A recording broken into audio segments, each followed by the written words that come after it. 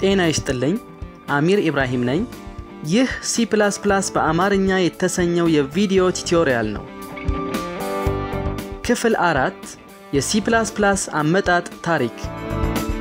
በዚህ ክፍል አራት የቪዲዮ ቱቶሪያል በቅድሚያ ስለ ሲ ፕሮግራሚንግ ቋንቋ አመጣጥ ታሪክ በዝርዝር ካየን በኋላ በቀጣይነት የሲ ፈጣሪ የሆነው ቢያርኔ ስትሮስትረፕ ፕላስን ለመፍጠር ምን እንዳነሳሳው የተናገረበትን አጭር ቪዲዮ እንከታተላለን።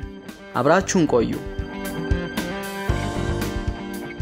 የሲ አመጣጥ ታሪክ የሲ ፕሮግራሚንግ ቋንቋ የተፈጠረው በአሜሪካን ሀገር ኤቲኤንድቲ በተባለ ካምፓኒ ቤል ላብራቶሪ ውስጥ ነው።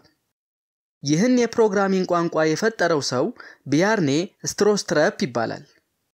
የሲ ፕሮግራሚንግ ቋንቋ የተሰራው የሲ ፕሮግራሚንግ ቋንቋን መሰረት ወይንም መነሻ አድርጎ ነው። ለዚህም ነው ከሲ ፊደል በመቀጠል ሁለት የመደመር ምልክቶች የተቀመጡት።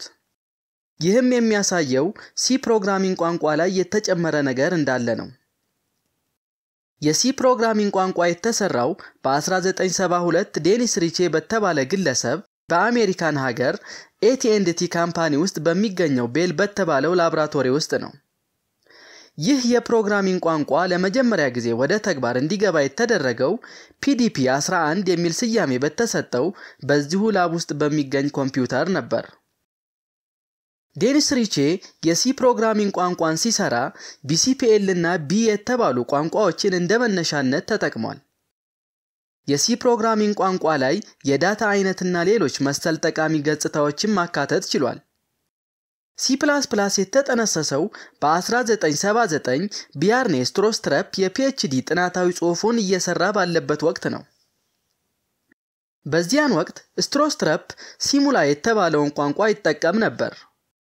ሲሙላ በሚከተለው ኦብጀክት ላይ ያተኮረ ፕሮግራሚንግ አካሄድ በመሳብ ይህን የፕሮግራሚንግ አካሄድ ሶፍትዌር ማሳደግ ላይ ለመጠቀም ፍላጎት አደረበት። ነገር ግን ሲሙላ በጣም ቀርፋፋ ከመሆኑ የተነሳ ሶፍትዌር ማሳደግ ጥቅም ላይ ለመዋል አመች አልነበረም።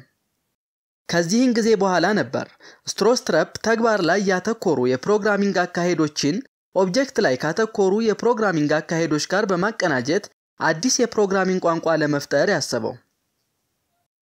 በ1983 ይህ አዲስ የተፈጠረ ቋንቋ ሲ ተባለ። የሲ ፕሮግራሚንግ ቋንቋ ከሲ የፕሮግራሚንግ ቋንቋ በተለየ የሚከተሉትን አዳዲስ ገጽታዎች ተላብሷል። ክላስ፣ ኢንሄሪታንስ፣ ኢንላይኒንግ፣ ዲፎልት ፈንክሽን አርጊመንት፣ ፖሊሞርፊዝም፣ ኢንካፕሱሌሽን እና ሌሎችም። ስለ እነዚህ ገጽታዎች ምንነት በሌላ ቪዲዮ በዝርዝር እናያለን። ለመጀመሪያ ጊዜ ሲ ለንግድ ጥቅም ላይ የዋለው በ1985 ነበር። ከዚያን ጊዜ ጀምሮ እስካሁን ድረስ የሲ ፕሮግራሚንግ ቋንቋ እውቅ፣ ተወዳጅ እና ተጽዕኖ ፈጣሪ የፕሮግራሚንግ ቋንቋ እንደሆነ ቀጥሏል። የሲ ፕሮግራሚንግ ቋንቋን መማር የሚያስፈልግበት ዋናውና ቀዳሚው ምክንያት ሲ ፕላስን የተማረ ሰው ሌሎች የፕሮግራሚንግ ቋንቋዎችን በቀላሉ መማር መቻሉ ነው።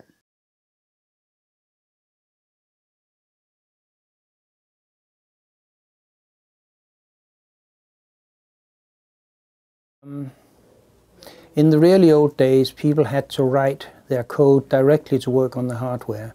They wrote load and store instructions to get stuff in and out of memory, and they played about with bits and bytes and stuff. You could do pretty good work with that, but it was very specialized. Um, then uh, they figured out that you could build languages fit for humans for specific areas. Like uh, they built Fortran for engineers and scientists, and they built COBOL for um, for businessmen. And then in uh, the mid 60s, a bunch of Norwegians, mostly uh, Ole Johan Dahl and Kristen Nygaard, uh, thought, why can't we get a language that sort of is, is, fit for humans for all domains, not just linear algebra and business? Uh, and they built something called Simula, and that's where they introduced the class as the thing you have in the program to represent uh, a concept in, in your application world. So if you're a mathematician, the matrix will become a class. If you're a businessman, a personnel record might become a class. In telecommunications, uh, a dial buffer uh, might become a class. You can represent just about anything as a class. And they went a little bit further and represented relationships between classes. Any hierarchical relationship could be done as a bunch of classes. So you could say that a, uh, a fire engine is a kind of a truck, which is a kind of a car, which is a kind of a vehicle, and organize things like that. This uh, became known as object oriented programming, or also in, in some variants of it as data abstraction. And, and my idea was very simple to take the ideas from Simula for general abstraction for the, for the benefit of sort of humans representing things so that humans could get it uh, with uh, low level stuff, which at that time was uh, the best language for that was C, which was done at Bell Labs by, um, by Dennis Ritchie.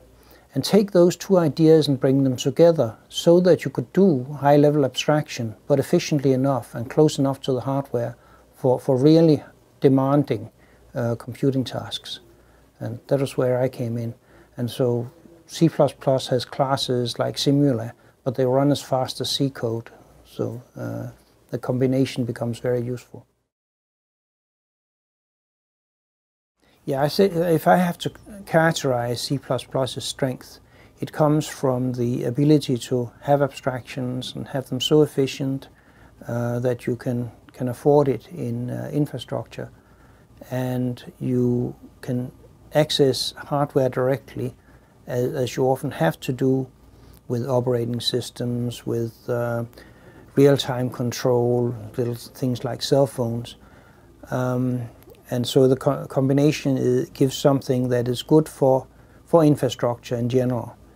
Um, another aspect that's necessary for infrastructure is stability. Um, when you build an infrastructure, it could be sort of the lowest level of IBM uh, mainframes, uh, talking to the, the hardware for the higher level of software, which is a place they use C++, or a fuel injector for a large um, uh, marine uh, diesel engine, or, or a browser. It has to, to, to be stable for a decade or so because you can't afford to fiddle with the stuff all the time. You can't afford to rewrite it. I mean, taking one of those uh, ships into harbor costs a lot of money. And so you need a language that's not just good at what it's doing, you have to, to be able to rely on it being available uh, for decades on a variety of different hardwares and to be used by programmers over a decade or two at least. C++ is now about three decades old.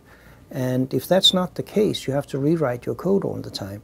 And that happens primarily with uh, experimental languages and with uh, proprietary commercial languages that change to, to finish to, to, to meet fads. Uh, C++'s problem is the complexity partly because we haven't been able to clean it up. There's still code written in the 80s that are running, and people don't like their running codes to break. Um, it could cost them millions or more. አዳዲስ ቪዲዮዎች ሲለቀቁ የማሳወቂያ መልእክት እንዲደርሳችሁ በቅድሚያ ከታች ያለውን ሰብስክራይብ የሚለውን በተን ከተጫናችሁ በኋላ የደውል ምልክቷን ተጫኑ። እናመሰግናለን።